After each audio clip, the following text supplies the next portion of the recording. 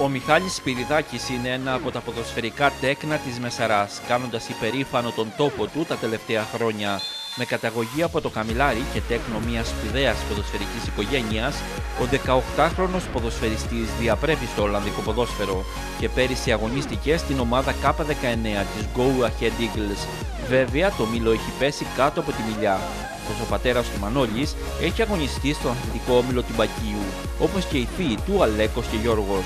Επίσης ο ξαδερφός του και συνονόματός του Μιχάλης πέρασε ως αρχηγός από την Μικτή Παιδονέψη, αγωνίστηκε στην K15 του Όφη και φέτος προωθήθηκε για να αγωνιστεί στην ομάδα K17 της ΠαΕ.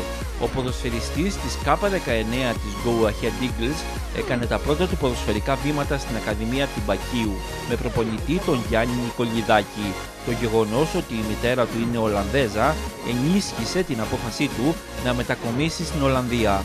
Με πρώτο σταθμό την FC Zutphen, ενώ σύντομα δέχτηκε πρόταση από την Go Ahead Eagles και αφού ξεχώρισε αρχικά στην K17, πήρε το βάπτισμα του πυρός για την K19. Παίζοντας σε όλες τις θέσεις της μεσοεπιθετικής γραμμής ως δεξί και αριστερό χαφ αλλά και ως κεντρός, αγωνίστηκε φέτος σε 20 παιχνίδια σημειώνοντας 5 γκολ και έχοντας 9 assist όντας ένας από τους καλύτερους και πιο εξελίξιμους ποδοσφαιριστές, ενώ για εκείνον έχουν ενδιαφερθεί μεγάλα κλαμπ της Ολλανδίας όπως η Βίτεσε.